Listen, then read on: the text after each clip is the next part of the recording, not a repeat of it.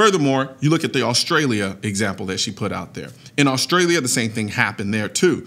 They decided inevitably that they were going to ban the handguns, or not ban handguns, but ban semi automatic rifles after a mass shooting happened there. But not only that, they instituted a mandatory buyback program. Now, the operative word in that is mandatory, meaning you don't have a choice. Basically, it was compensated confiscation. They compensated you for basically taking your firearm. Now, think about that for a second. If I put a gun to somebody's head and said, I want you to sell me your watch for 50, 50% below the value of the watch, and I said, if you don't, I'm going to shoot you, would you consider that a watch buyback or would you call that a robbery? It's the same thing here. Just because they're paying me money to give my guns back, if I'm forced to do it and if I don't do it, I'm going to be charged with a crime. That's that's not a buyback program. That is a confiscation. The thing that bothers me even further is how a site like PolitiFact responded to it.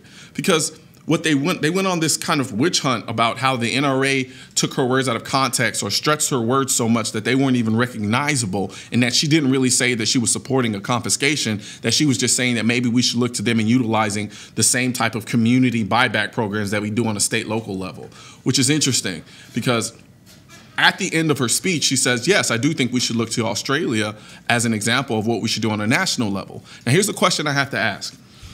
If we were talking about a situation where you want to utilize something as an example to do on a national level, and you already know that on a, and you already are aware that we're that some states have buyback programs, but then you say you want to use Australia's model as part of that buyback program and as an example of that buyback program on a national level. I'm trying to understand why you would even make the distinction, considering that the difference between a state level buyback program and the buyback program in Australia was the one in Australia was mandatory. And the problem that drove, and the thing that drove me wild was that in PolitiFact, they went on and on and on about how that's not what she meant, that she wasn't talking about a confiscation, that she was merely just talking about the buyback programs, and that that's what she was referring to when she was talking about the U.S. community level, uh, U.S. community uh, state level buyback programs. But you wouldn't make the comparison. You already have an example. So why are we even talking about Australia unless you completely understood what you were talking about? You knew Hillary Clinton knew exactly what she was referring to. That's why she brought up Australia. That's why she brought up Canada. That's why she brought up the UK. One of the things that I learned from my legal mentor when I was in law school doing a mock trial program and he was teaching us how to cross-examine someone is the idea and the notion that when somebody doesn't know why they're asking you when someone doesn't know why you're asking them a question or what you're trying to get as a result of the answer to that question, they usually resort to telling you the truth because they can't think or figure out the angle in which they want to use to lie to you. I, I feel like that's what happened here. The guy asked her a question about banning guns essentially. He said, Why can't we do what they did in Australia when they got rid of all the guns in less than a year? And she has constantly stood on this pedestal and said that she is for the Second Amendment. She respects the Second Amendment. But when somebody in an audience blatantly comes and asks her why we can't essentially do away with the Second Amendment and ban guns and get rid of them, she doesn't correct them. She doesn't say, well, no, I respect the Second Amendment. So I'm not trying to get rid of guns or take guns away from the people. I just want to implement these measures.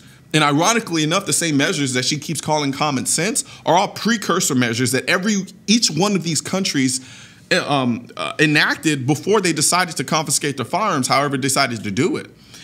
So, to me, when I look at something like when I look at a site like PolitiFact, and I see them caping essentially for a statement that Hillary Clinton said that was so blatantly in favor of a confiscation it, it, causes me to question them because I've used PolitiFacts many a times to verify certain aspects of stats and things of that nature um, because there's a kind of perceived notion that they're they're objective and they're unbiased. But I have to, but it, this kind of kind of called into question a lot of things, but also reminded me of something.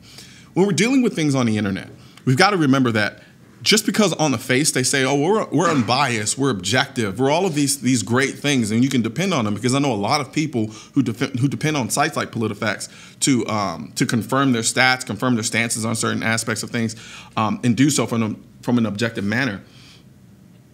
I, I I don't think I can really trust PolitiFact anymore because I'm looking at this and everything that they're doing is skewed in favor of Hillary Clinton. Nothing about this is objective.